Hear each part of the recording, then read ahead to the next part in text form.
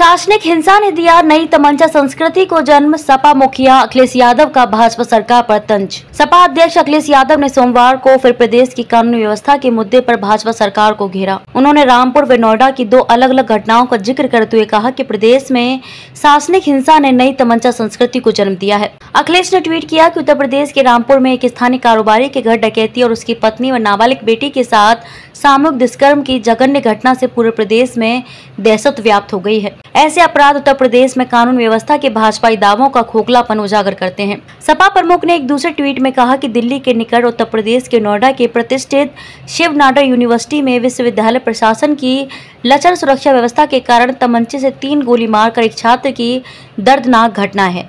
उत्तर प्रदेश प्रशासन ने भी उतनी लापरवाही बरती है। प्रदेश में शासनिक हिंसा ने नई तमंचा संस्कृति को जन्म दिया है। पटरी पर नहीं आ रही स्वास्थ्य सेवाएँ। अखिलेश ने कहा कि मुख्यमंत्री की लाख घोषणाओं और स्वास्थ्य मंत्री की तथा कथित छापामारी के बावजूद प्रदेश की स्वास्थ्य सेवाएँ पटरी पर नहीं आ रही है। जैसे भाजपा सरकार विकास के मोर्चे पर विफल साबित हुई है, वैसे ही मरीजों को दवा और इलाज मुहैया कराने में भी नकारा साबित हुई है। भाजपा सरकार ने जनता को महँगाई, भ्रष्टाचार और सिर्फ़ परेशानियाँ ही दी है। राजधानी लखनऊ के अस्पतालों की हालत भी सोचनीय है।